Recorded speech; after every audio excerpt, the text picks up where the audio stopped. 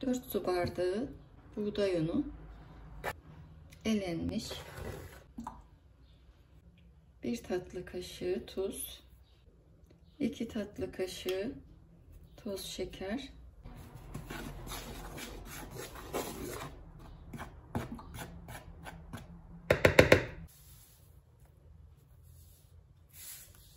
Bir yemek kaşığı toz maya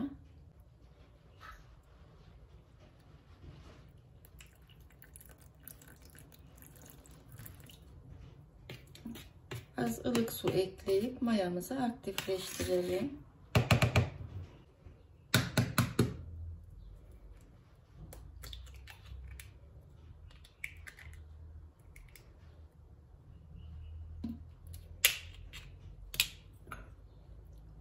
Bir yumurtanın beyazı sarısını üzeri için ayırıyorum.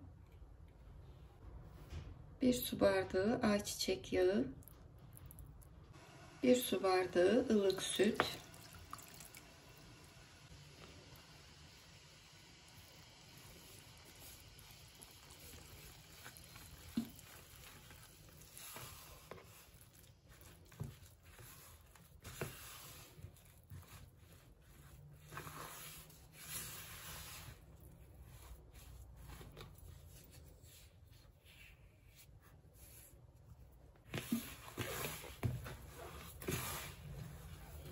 Eğer hamurumuz katı olacak olur ise ılık su ekleyerek açabiliriz. Koyduğumuz ölçülerle. Fakat benim kullandığım una bu ölçü su ve yağ tam geliyor.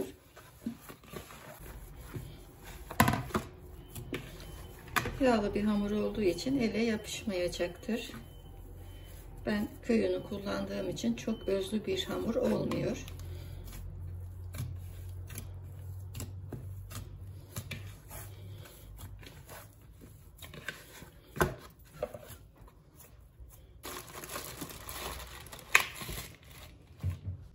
Üzerini örtüp en az yarım saat, bir saat mayalandıralım. İç için kaşar rendeliyorum.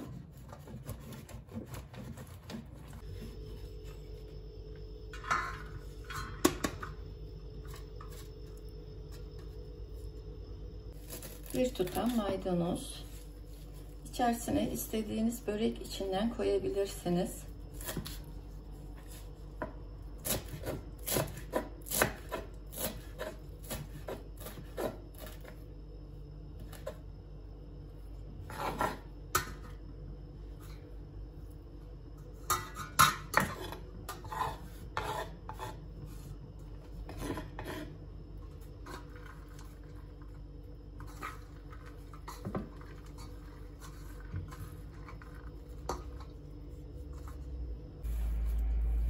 Hamurumuz kabardı.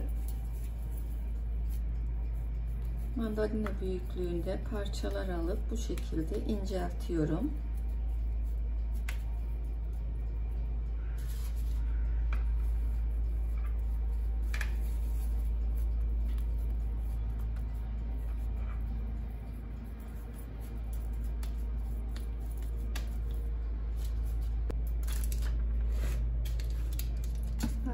Hamurların üzerinden tekrar parmaklarımızla geçelim.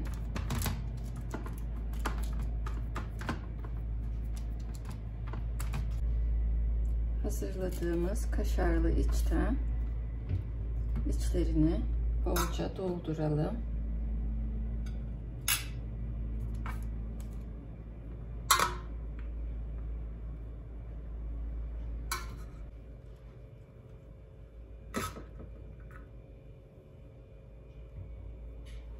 Tepsiye dağılanları toplayalım.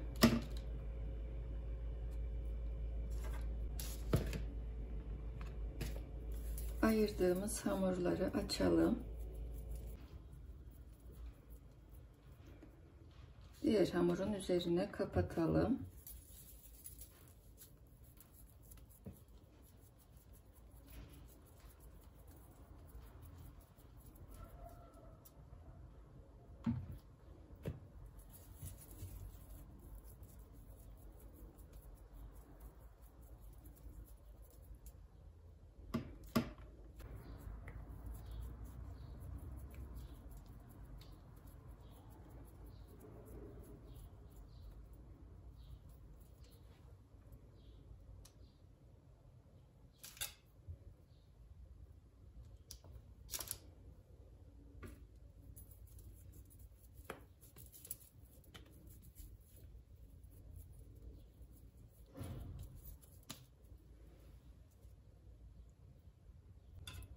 Hamurların uçlarını birleştirip bastıralım.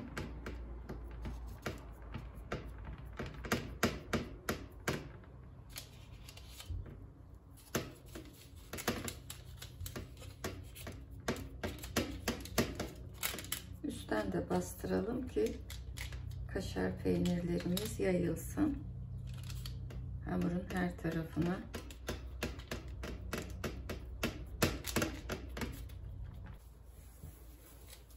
Üzerini örtüp tepsi mayası için yarım saate yakın bekleyelim. Yumurta sarımızın içerisine 2-3 yemek kaşığı kadar süt bırakıyorum.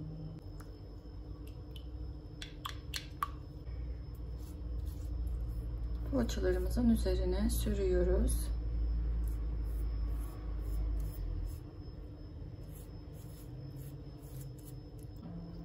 Sosun bulaşığına batırarak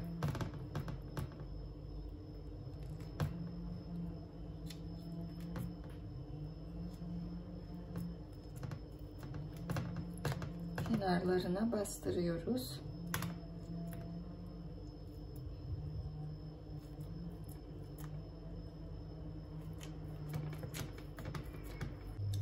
Çörek otu veya susam serpiştirmek isteğe bağlıdır.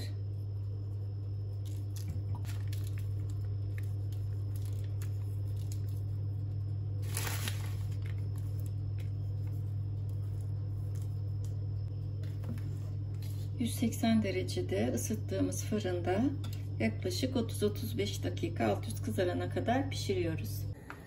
Poğaçalarımız pişti. İlk sıcaklıkları da geçti. Bu şekilde altları da çok güzel pişti.